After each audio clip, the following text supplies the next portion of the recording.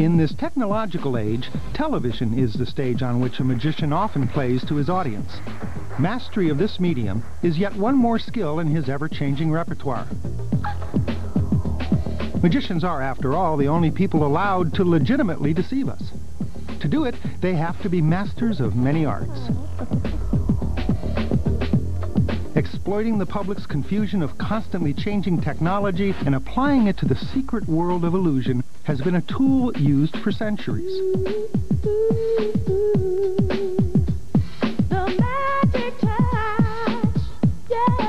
It is the magician's ultimate goal to make the impossible seem possible.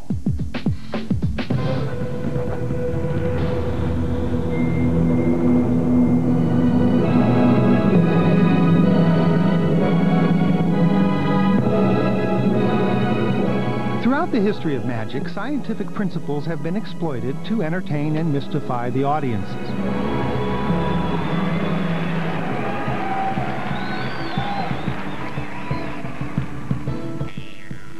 Static electricity made safe enough to thrill, but not to kill. The destructive force of fire tamed by performers who acquired the secret knowledge of fireproofing themselves.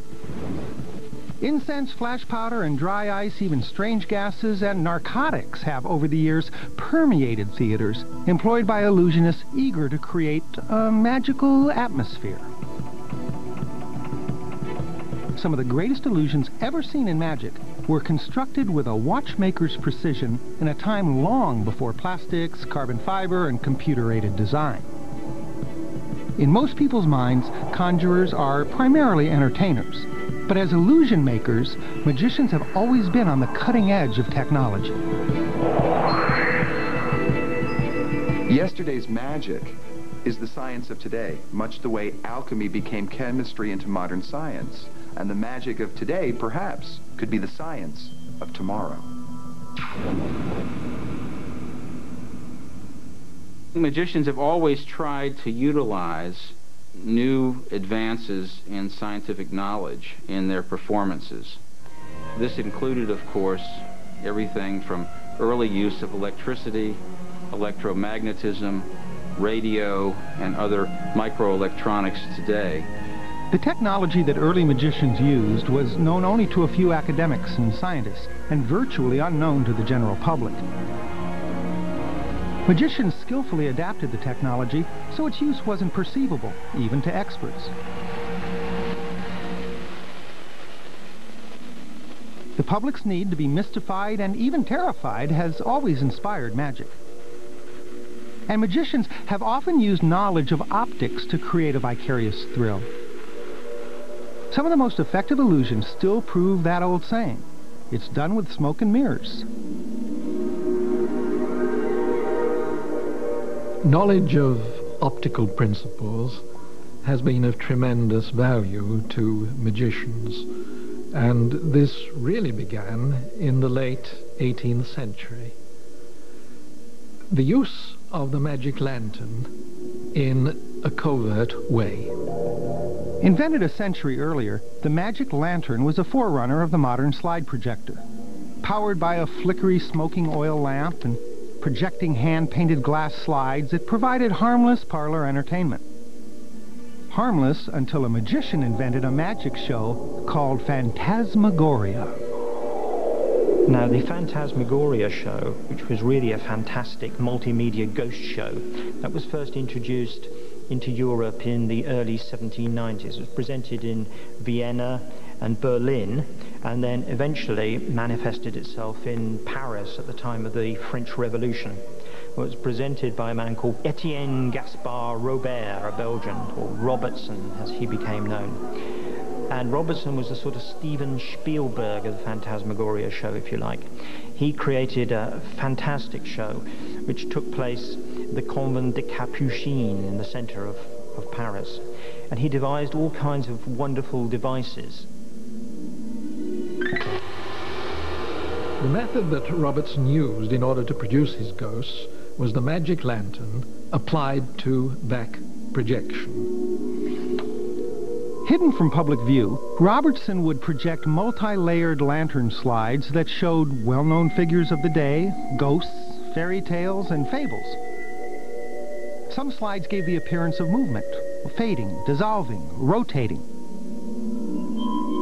These were then projected either onto the smoke from the brazier or onto a muslin screen to great effect.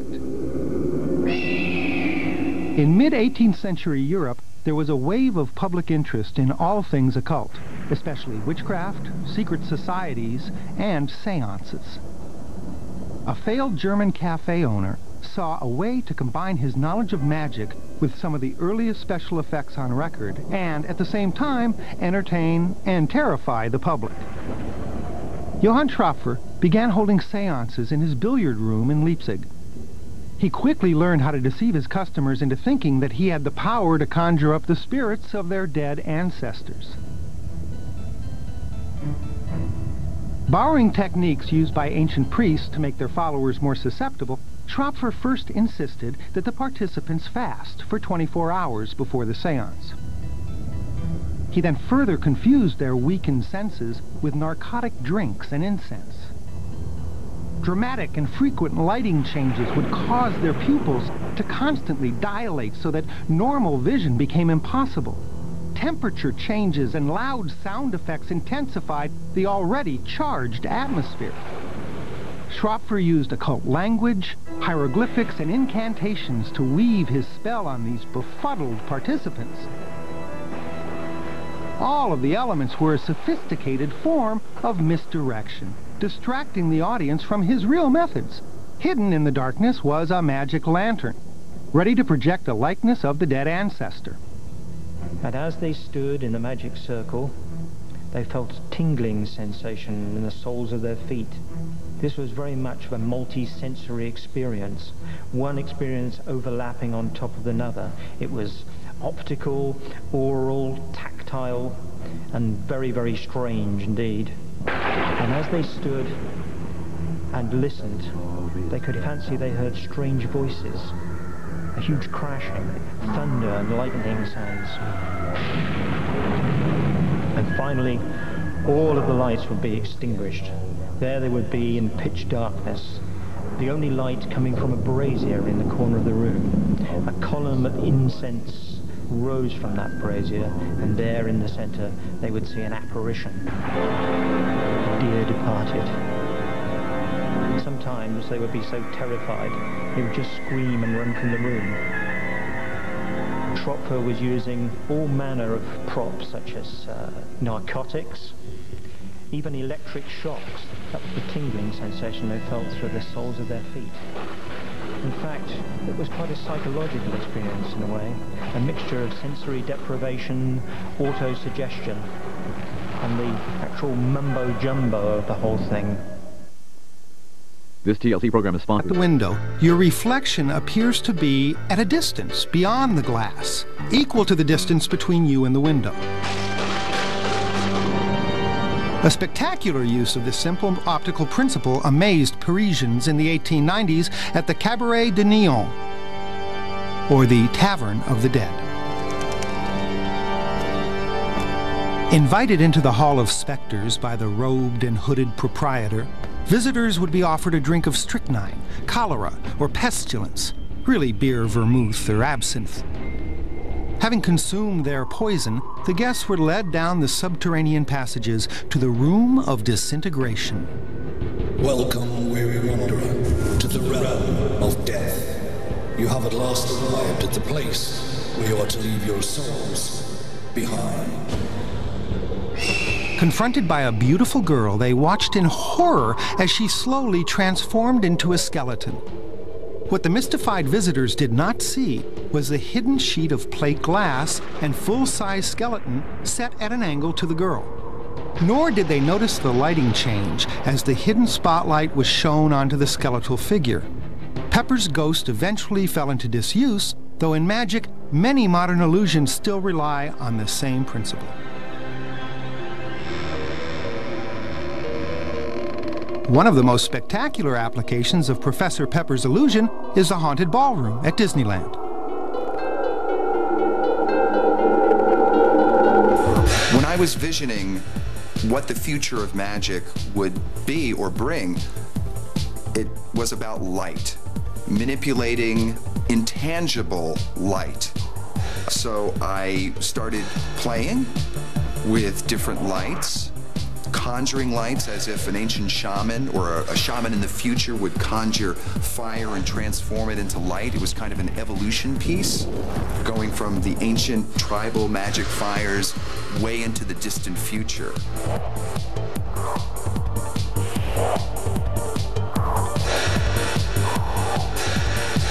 Appearing to defy gravity is the basis of many magical illusions, perhaps none more famous than the legendary Indian rope trick. The basis of the Indian rope trick was that the fakir would throw the rope up in the air, little boy would climb the rope, he'd vanish at the top, the rope would fall to the ground, the little boy would be gone. That was the basis of the whole thing. But the rope trick may have its roots in another part of the mysterious East. One of the best descriptions of the Indian rope trick is that of Ibn uh, Battuta in the 14th century. He saw it apparently in China, but I don't think we can claim that he was a very good witness because he admits in this account that whenever he saw magic performed, he felt faint. And uh, therefore, I think we can say that the description, like so many of the others, is uh, clothed in fiction. The reason this particular trick has always been thought of as Indian may come from a later but no less far-fetched account dating from the early 17th century. It was the age of the famous court magicians of the great Mughal Emperor Jahangir. The idea of ascending to heaven is a common theme in many religions. There is this notion of the rope that goes from this plane of existence to a higher plane. So ascension, moving up into the higher level, the higher plane of existence. Uh, I suspect that that's what the illusion is all about, and that's why it's been around so long. Magicians have long exploited the rope trick in their publicity material, but so far, there are no reliable witnesses who can honestly claim that they have ever seen the trick performed.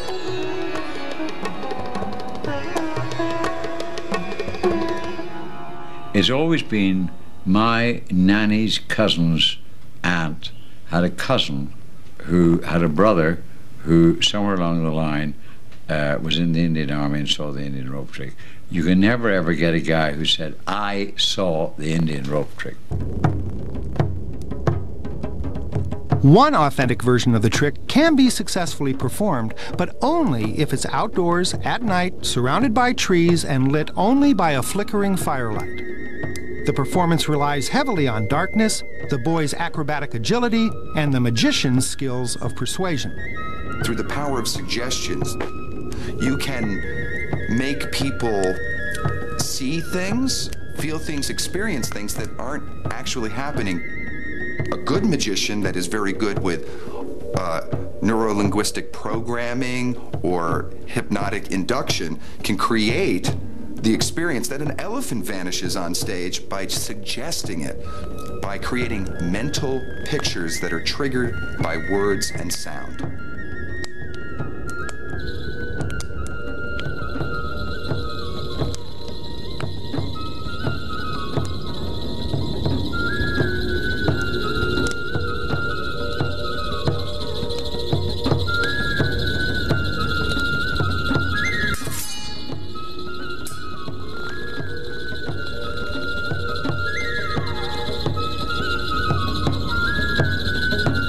As the boy scrambled up the rope, the magician threw incense or even hashish into the fire, creating clouds of hypnotic smoke.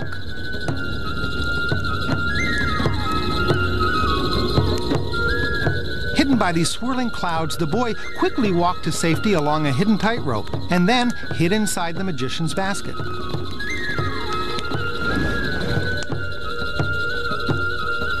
Magic happens, I think, inside people's minds.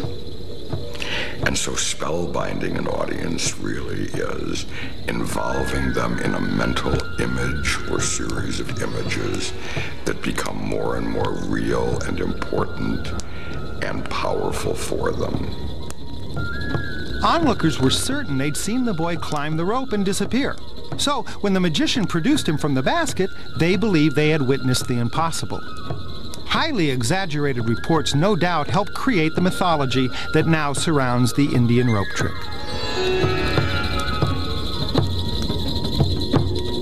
Based on the research of those who have seriously studied the history and tradition of the Indian rope trick, I'm convinced that it is overwhelmingly a combination of legend and folklore, perhaps derived from performances by fakirs and street magicians in India doing much less ambitious feats of magic and talking about legends of an Indian rope trick.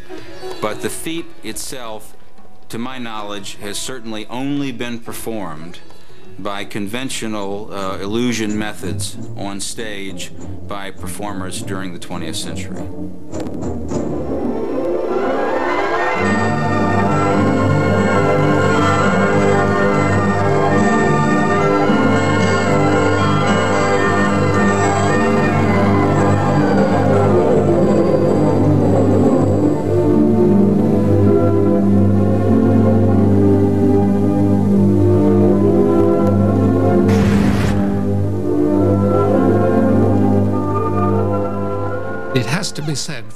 The audience records that we have, that trick on stage has not made much of an impression upon the audience.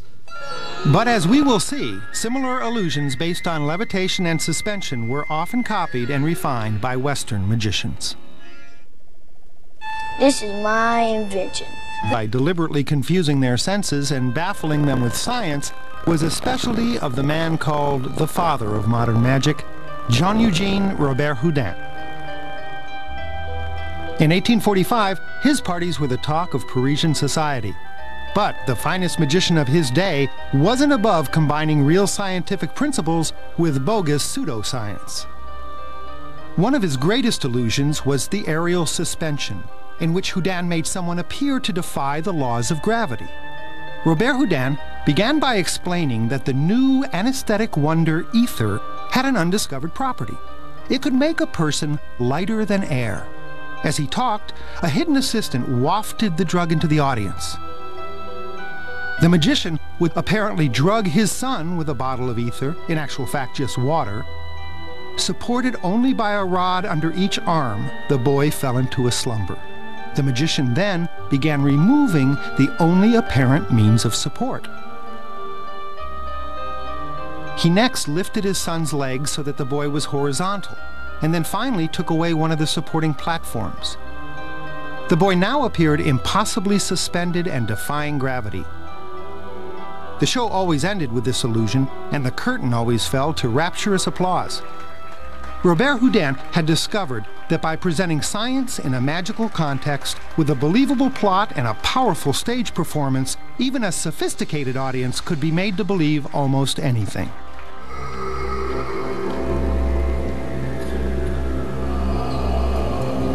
Illusion designers who followed have kept his legacy alive to present day.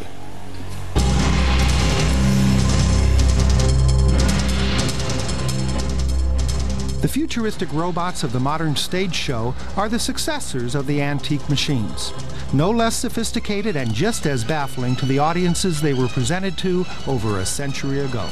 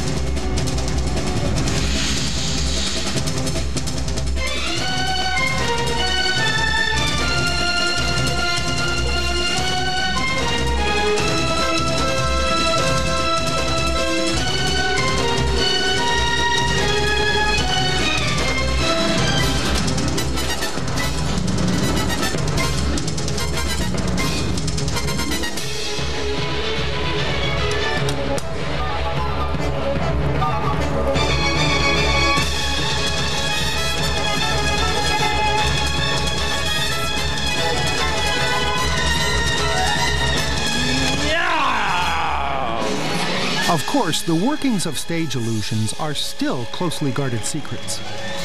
Back in 1849, Robert Houdin's masterpiece of mechanical magic was a puppet, barely 34 inches tall, called Antonio Diavolo. The simple-looking doll mystified all of Europe, and its secret has been kept for almost 150 years. Performing to a small audience on a specially built stage, Antonio the trapeze artist would nod and bow to the crowd before beginning his routine of lifelike acrobatics. Antonio was, in fact, a carefully weighted, articulated machine. Complex movements were caused by the motion of tiny pistons and levers. We can only guess how he acquired the momentum to rotate vertically and let go with his hands without any contact with the onstage magician at any time during his performance. The method and materials of his construction may be known, but the secret of his movement remains a magical mystery. Lifelike machines had been a very popular part of magical entertainment since the 18th century. Popular because they often appeared to interact with the public. One of the most famous uh, automata, or pseudo-automata, is the chess-playing automaton of Wolfgang von Kempelen. Modeled on a Turkish figure and built in 1770 for an Austrian empress, this life-size automaton traveled Europe playing chess and defeating commoners and kings alike. After a century-long career, he has recently been restored to full working order.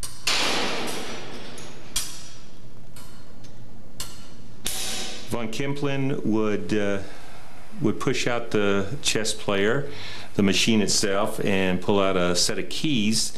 He would then open the left-hand door, exposing all of the machinery and take a lit candle around to the back and open the door there to show that there's nothing but machinery in there. Now, again, leaving all of the doors flapping in the breeze, he would roll the whole machine around and show that the Turk had uh, a couple of small doors inside his back and in his legs, and lifting up his robe, again, just expose the machinery. Then turn it all back around and lock it up, and he's ready for the performance. With lifelike movements, unerring judgment, and his expressionless face, the chess player proved to be an intimidating opponent.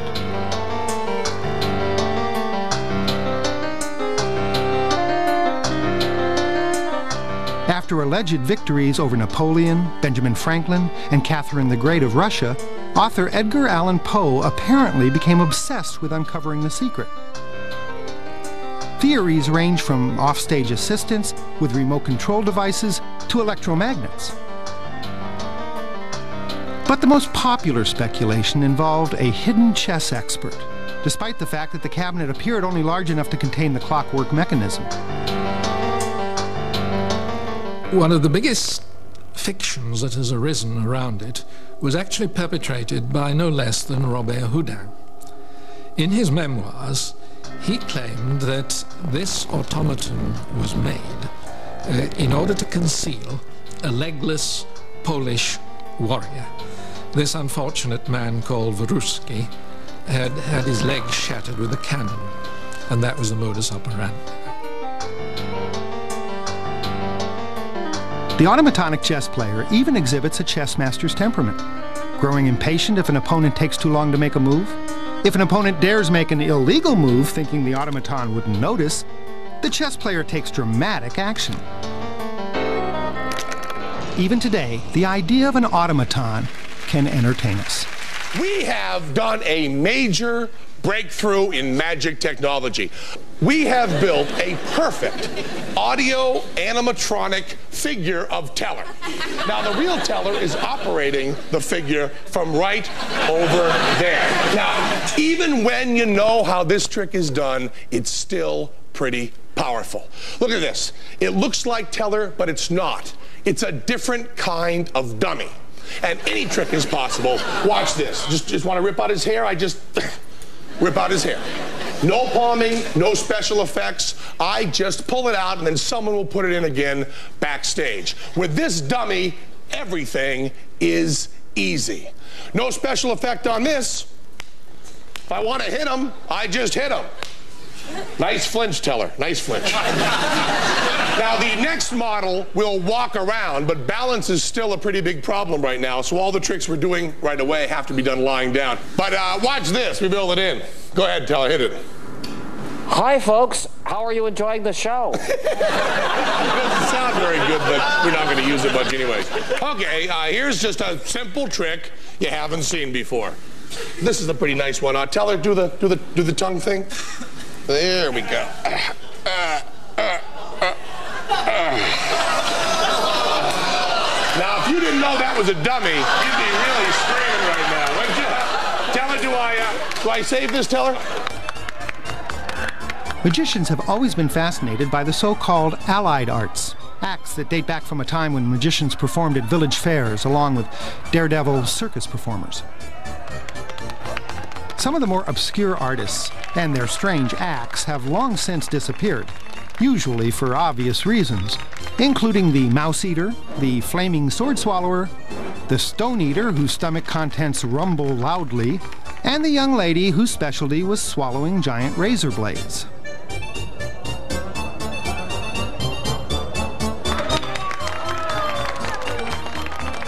In the 17th century, one popular specialty act was the spouter, who could regurgitate water, beer, or wine on demand. Senor Haji Ali! Haji Ali was a truly remarkable performer who was of Egyptian origin and became rather well known during the 1920s, 1930s. He was a regurgitationist. And his act, which I dare say few people tried to fully emulate, consisted of him swallowing incredibly large quantities of water.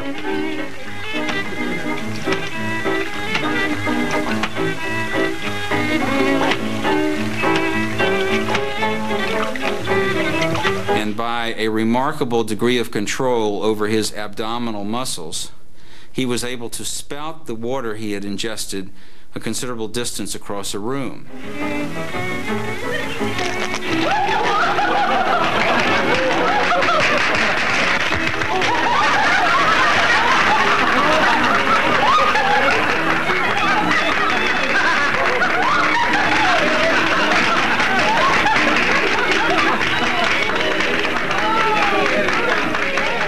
But the most devastating thing he did which probably contributed to his uh, illness, the illness that caused his death, was that he would swallow a, a large quantity of water Salute, senora, senora. and then drink a bottle of kerosene. The kerosene would float in his stomach on top of the water. He would first regurgitate the kerosene onto what looked like a small burning pyre. And of course, by spouting the kerosene, the entire uh, surface of this object would go up in flames.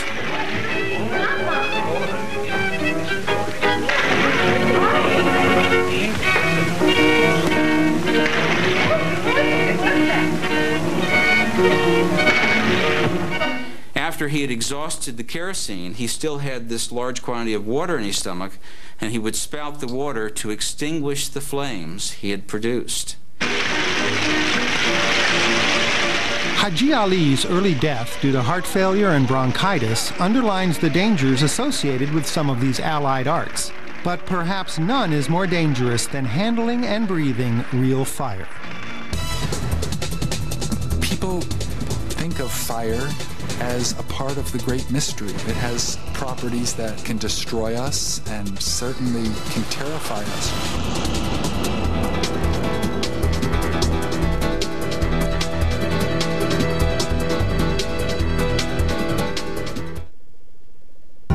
This is the workshop of radicals. A one car garage where two young men with $500. I think fire is a good symbol for the mystery, for the magic, for the unknown. And it's only that we project on the fire properties that give it more power than perhaps it really has. And historically, I don't think we can find a time when, when people were, were not in awe of fire. The relationship of magicians with the mythical salamander can be traced back to the ancient legend of a fabled beast impervious to fire.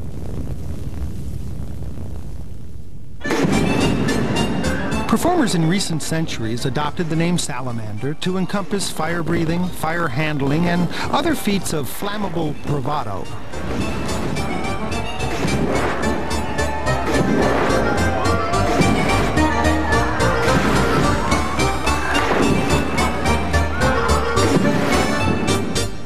One of the greatest exponents of the trade was Signora Girardelli. Billed as the fireproof female, she amazed English audiences in the early 19th century with her apparent incombustibility.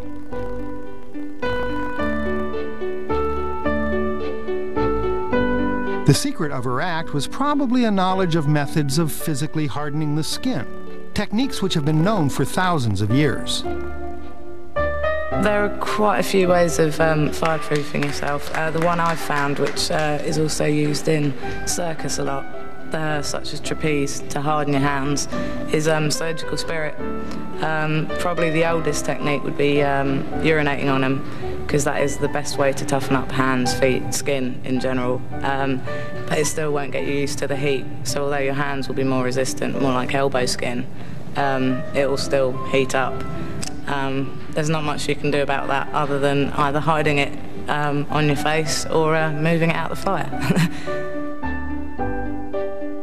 Some old recipes involve mixing substances that numb the skin to protect you from feeling pain, while others protect you from actually getting burned.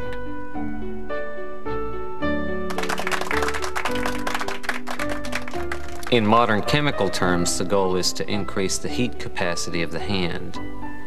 Uh, that means that you increase the hand or the body's capacity to absorb heat without getting burned. You can think about it this way: if you uh, if you set your your home oven to 100 Fahrenheit, you can put your hand in that oven very easily without getting burned. You won't be harmed at all. It'll be pleasantly warm, in fact. But if you plunge your hand into boiling water, then you'll get scalded and you'll get blisters. What's the difference? Well, the heat capacity of water is huge in comparison to the heat capacity of air. The way to prevent getting damaged as opposed to feeling the pain is to put something between you and the heat in order to absorb that heat. You don't become physically resistant to pain. I find that if you've been doing it every day for a week, you'll probably find yourself with a higher resistance to if you do it seven times in one day. If you did it seven times in one day, you'd probably end up with blisters. Um, so it's a little over a long period of time, and saying then you would definitely build up a resistance. One of her more startling exploits was to handle molten lead, though almost certainly it was an amalgam of other metals. With a melting point of 158 degrees Fahrenheit, that's more than hot enough to severely burn a careless performer. When you're pouring molten metal across your skin, for example, the danger is not the actual temperature of the metal. Uh, you can handle very hot things as long as you keep them moving. Because as long as the metal is molten, it's simply maintaining that temperature and it's not delivering an inordinate amount of heat to your hand. It's only when the metal solidifies uh, if you think about it, it takes heat to ma make a metal from solid to liquid, and to go the opposite direction delivers that same amount of heat. So when the metal freezes, solidifies, it dumps all of that, we call it in chemistry, the latent heat of fusion, into your hand. And that's what hurts. Firewalking, as a ritual or as a magic trick, is universal and ancient. One of the most famous performers was Indian magician Kuda Bux, who, in his series of highly publicized firewalks in the 1930s, subjected himself to scientific scrutiny in order to prove that there was no trick to his incombustibility. He passed all the tests and took his secret, if he had one, to the grave. The descendants is Kulla Narokuni Bagdam Salaman Allah Ibrahim. Over the years, many people have attempted to unlock firewalking's dangerous secret. Scientists have searched for centuries to find a theory that can explain the phenomenon. First of all, I want to caution anybody who's watching the show not to simply build a fire in your backyard and attempt to walk across it. I've walked across the fire thousands of times, and in the early days, I got burned quite a number of times. I learned from my mistakes.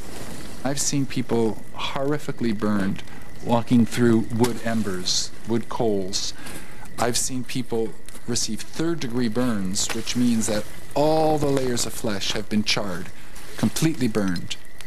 At temperatures well above a thousand degrees Fahrenheit, as hot as napalm, the mystery of how firewalkers escape serious injury is not easily explained. One theory, the Leidenfrost effect, shows how a water droplet can skip across a hot metal plate, supported by a layer of its own vapor as it evaporates. Water vapor is a poor heat conductor, creating an insulating barrier between the droplet and the hot plate. But this doesn't explain how firewalking can be performed safely in arid conditions with dry feet.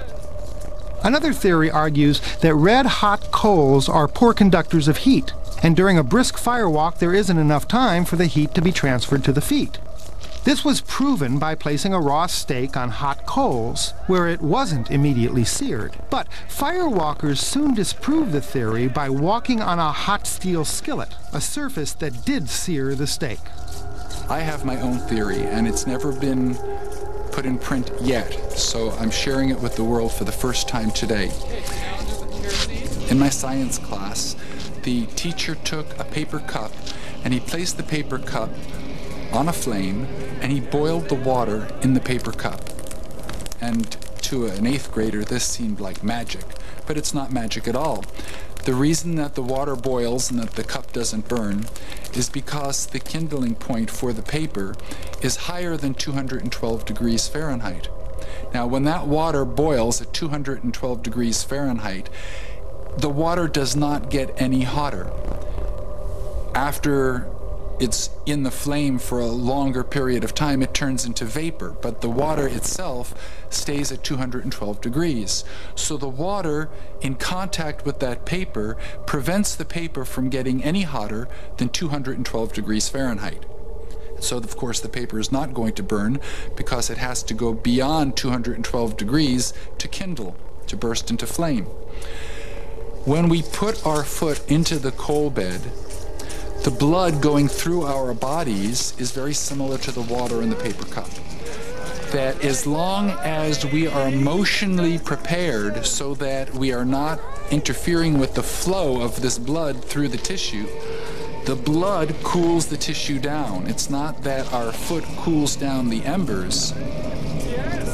If you raise the temperature of your tissues to a certain point, you're going to burn. So obviously, the people who don't burn are people who are not raising their flesh to a high enough temperature that they're going to injure themselves. And the variable seems to be your state of mind because flesh is the same, the, the coals, they're the same, and yet in a group of 100 people, if there's two or three that are burned, how do you explain that just using physical things like the Leidenfrost uh, idea or the conductivity theory? The variable, it would seem, would be the person's state of mind, not the physical setup.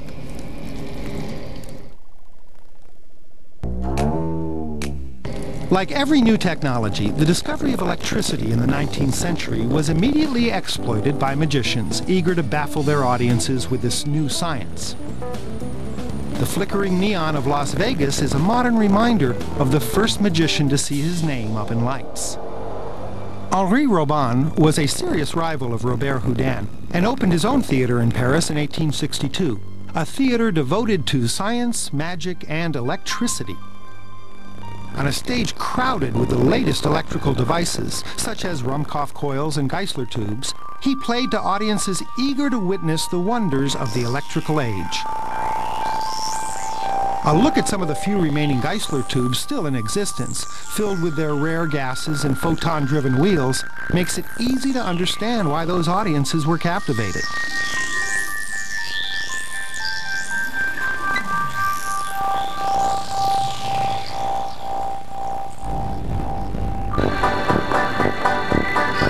One of the strangest magicians to exploit the wonders of electricity was the self-styled Dr. Walford Bodie. A master of self-promotion, he advertised himself as the living miracle. Claiming unsurpassed knowledge of all things electrical, Bodie shocked British audiences during the early part of the 20th century. His notoriety, for so it became, stemmed from his electrical equipment and the quack cures that he claimed to produce on stage. He would invite up the halt and the lame, and it appeared to the audience that by subjecting them to his hypnotic effects, which he called the Bodie force, or the Bodic force, uh, they were cured. My lords, my ladies, and gentlemen, Wilton's, the handsomest room in town, is proud to present for your edification tonight the pride of the North, the electric wizard, the modern miracle worker, the famous bloodless surgeon, the one, the only, Walford Bodie, MD.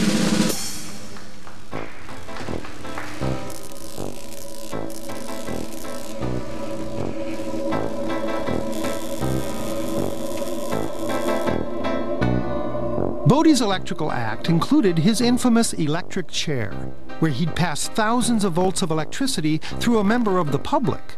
Audiences were horrified, but what they didn't know was that static electricity, though capable of inflicting a nasty shock, is not life-threatening. Bodie knew that as long as the amperage is small, the human body can withstand very high voltages. Armed with this secret knowledge, Bodie was able to produce sparks, light bulbs, and ignite torches by human touch alone.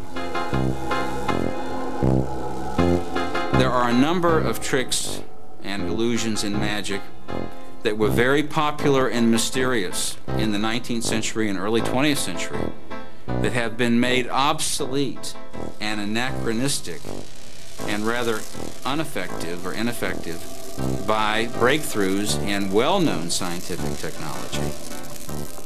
Bodie's career was virtually finished by the rising popularity of the motion picture and the subsequent demise of the music halls. Motion pictures relied on their own kind of magic, the ability of the human eye and brain to make a series of fast-moving still images seem that they were in continuous motion. And naturally, it was a magician, Georges Méliès, who pioneered its popularity.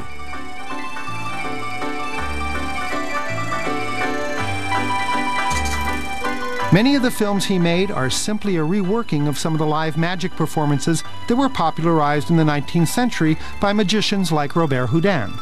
Instead of using classic magical methods, Méliès developed techniques of photography, which, to the uninitiated audience, achieved the same magical effect. What makes Méliès' magic more astounding is that all of that trick photography was done in the camera, without the benefit of modern computer animation or digital technology.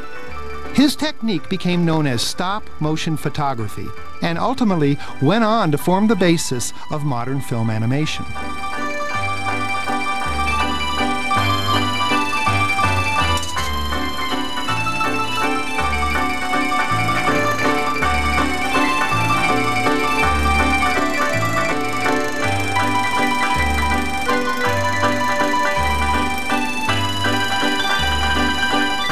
Méliès' technique relied on a fixed position camera, which was stopped at the point that Méliès wanted the effect to occur.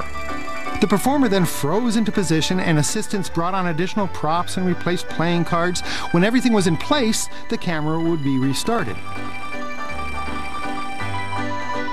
When the finished film was projected, the effect would appear to be completely seamless, a one-shot magic trick.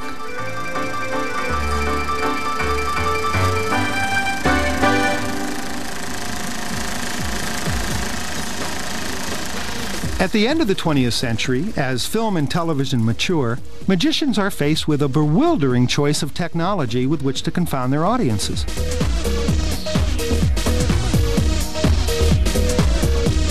It may not be long before virtual reality magic, where the audience becomes the magician, is commonplace. In our cynical and over-informed age, there's a growing youth culture that suspects that all magic, on stage or television, is created with movie-style special effects. For the time being, though, magicians still mystify and amaze modern audiences with time-honored tricks. Maybe movies are just the latest smoke and mirrors, forever making the impossible seem possible. The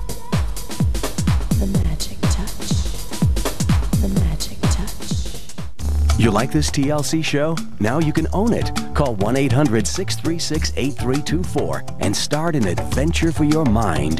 TLC offers its best shows on home video, including the episode you just saw.